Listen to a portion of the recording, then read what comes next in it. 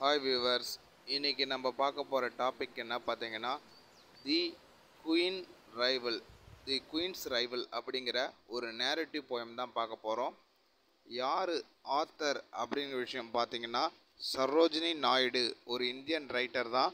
அவங்க தான் இந்த குயின்ஸ் ரைவல் அப்படிங்கிற ஒரு போயமை எழுதியிருக்காங்க.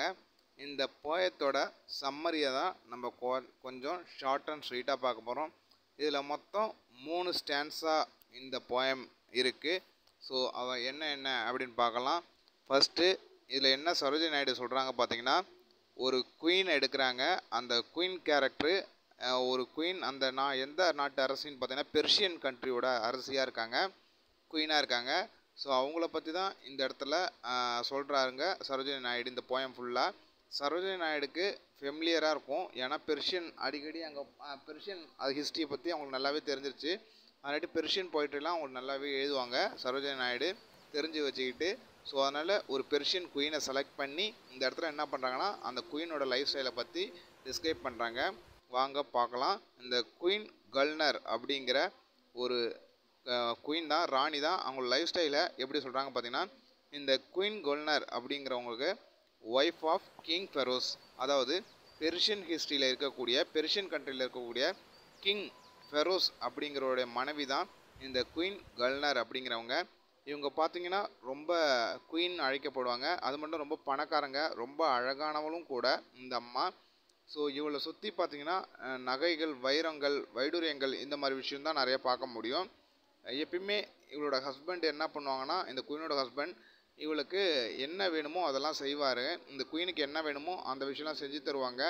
ஸோ ஒரு ஆனால் ஒரே ஒரு விஷய ஒரே ஒரு ஆசையை மட்டும் இந்த குயின் இந்த கிங்கால் இந்த குயினோட ஒரே ஒரு ஆசையை மட்டும் நிறைவேற்ற முடியல. அந்த மாதிரி ஒரு லைஃப் ஓடிக்கிட்டு இருக்கும் இவங்களுக்குள்ள.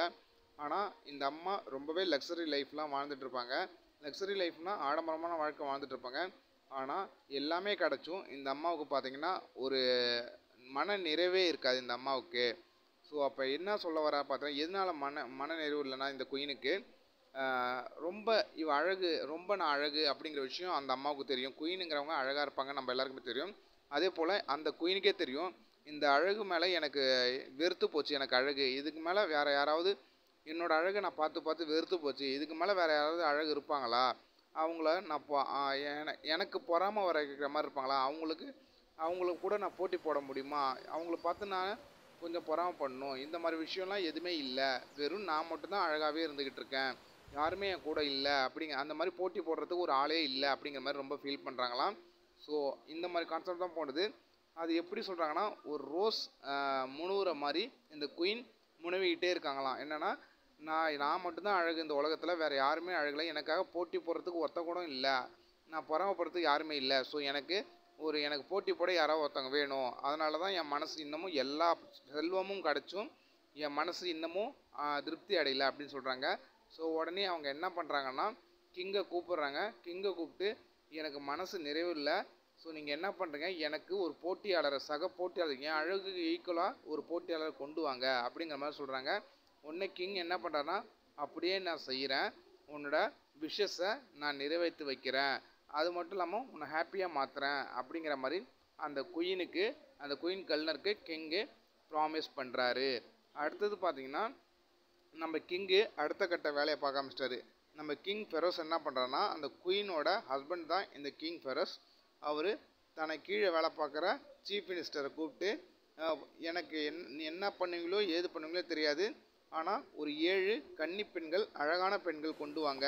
நீங்கள் நாளைக்கு விடியறதுக்குள்ளே என்னோடய மனைவியான குயினுக்கு போட்டியாளராக இருக்கணும் பார்க்கறதுக்கு சரிசமமாக அவங்க அழகு கூட இவங்களும் அழகாக இருக்கணும். இந்த ஏழு கன்னி பெண்களும் அழகாக இருக்கணும். என் மனைவிக்கு ஈக்குவலாக இருக்கணும் அப்படிங்கிற மாதிரி சொல்லி என்ன பண்ணுவீங்களோ ஏது பண்ணுவீங்களோ தெரியாது. நாளைக்கு காலைல எனக்கு இந்த நாட்டுக்குள்ளே வந்துடணும். குயின்கிட்ட காட்டணும் அப்படிங்கிற மாதிரி சொல்கிறாங்க உடனே இங்கே இருக்கிற மெசஞ்சர்ஸ் எல்லாம் அந்த சீஃப் மினிஸ்டர் மெசஞ்சர்ஸ் தூதர்கள்லாம் அனுப்பி நீங்கள் எங்கே போவீங்களோ எது போவீங்களோ தெரியாது. கடல் தாண்டி கூட போய்க்கங்க.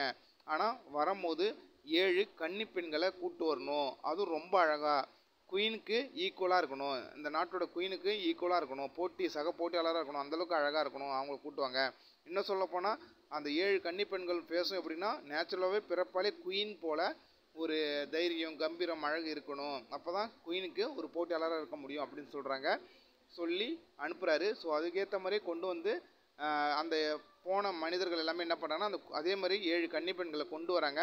கொண்டு வந்து பார்க்கும்போது பார்த்திங்கன்னா அவங்க பக்க நம்ம குயினோட பக்கத்தில் போய் நிறுத்துகிறாங்க குயின் பக்கத்தில் நிறுத்தின போது அவங்களுக்கு ஒரு சர்வெண்ட்டாக தான் தெரிஞ்சுதாச்சு அந்த கன்னி பெண்களை.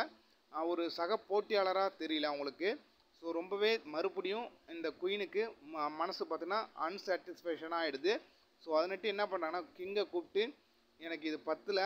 அவங்க ஜஸ்ட்டு அவங்க எல்லாமே எனக்கு சர்வன் மாதிரி தான் இருக்காங்க. என்னோடய ஒபேவுக்கு அவங்க ஆர்டர் பண்ண என்னோடய ஆர்டருக்கு அவங்க ஒபே பண்ணாங்க அவ்வளோதான் ஸோ அவங்க வந்து எனக்கு ஈக்குவலாக இல்லை. எனக்கு என்ன பண்ணுங்களோ எது தெரியாது. எனக்கு ரைவல் வேணும் அப்படின்னு சொல்லி கிங்கு கிட்ட மறுபடியும் முறையிடுறா அப்பீல் பண்ணுறா உடனே கிங் என்ன பண்ணுறாரு என்னடா பெரிய பிரச்சனை ஆயிடுச்சு அப்படின்னு சொல்லிட்டு கம்மனை விட்டுறாரு இப்படியே நாட்கள்லாம் ஓடிக்கிட்டு இருக்கு. ஓடிக்கிட்டு இருக்கும்போது ஒரு நாள் நம்ம குயின் என்ன பண்ணுறாங்கன்னா கண்ணாடியை பார்க்குறாங்க கண்ணாடியை பார்க்கும்போது அவங்க என்ன கொஞ்சம் வருத்தத்தோடைய கண்ணாடியில் பேசுகிறாங்க நமக்கு போட்டியாக இது வரைக்கும் நான் யாரும் பார்க்கல என் மனசும் இன்னும் சாட்டிஸ்ஃபேக்ஷனாக ஆக மாட்டேங்குது. ரொம்ப கஷ்டமாக இருக்குது அப்படி சொல்கிறாங்க ஸோ அந்த டைமில் பார்த்திங்கன்னா ஏதோ ஒரு விஷயம் இவங்க எதிர்பார்க்காத இந்த குயின் எதிர் கண்ணாடியை பார்த்து பேசிட்டு இருக்கும்போது எதிர்பார்க்காத விஷயம் ஒன்று நடந்தது. அது என்னன்னு பார்த்தோன்னா நம்ம குயினோட டாட்டர் இந்த எனக்கு மனசு சரியில்லை மனசு சரியில்லை குயின் குல்னு இருக்காங்க அவங்களோட பொண்ணு தான் குயினோட பொண்ணு பார்த்தீங்கன்னா ரெண்டு வயசு தான் ஆகும்.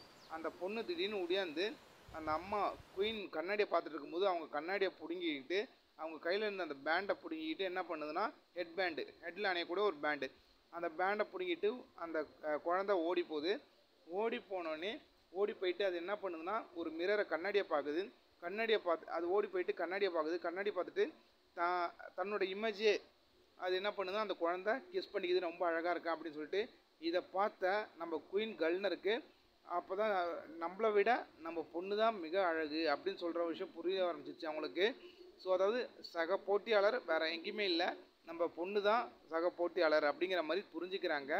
ஸோ இது பார்த்தீங்கன்னா கம்ப்ளீட்டாக இது இந்த செட்டிங் அப் இந்த போயத்தோட செட்டிங் அப்படிங்கிற விஷயம் பார்த்தீங்கன்னா ஹைலி ரொமான்டிக் அப்படின்னு சொல்லலாம். ஸோ இதுதான் இந்த போயத்தோட கான்செப்ட்டு மறக்காமல் இந்த வீடியோ உங்களுக்கு